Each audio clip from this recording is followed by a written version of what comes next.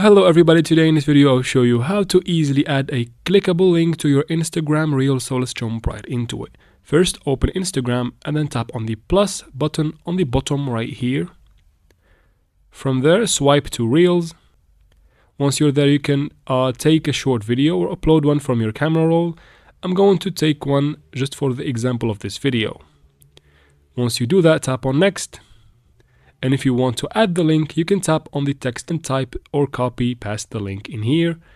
And since that's not going to be clickable, let's go delete it and then tap on the sticker right here. Search for link and then find something that says link in bio. After that, go ahead and post the reel.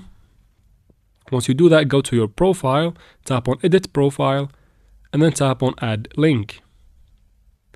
From there, just tap on add external link type the link you want to add or just paste it if it's too long. After that, tap on the tick on the top right corner. And that's how we do it. The link is added successfully. I hope this video was helpful. If it was, please like and comment down below. Also subscribe for future videos like this one. And thanks very much for watching.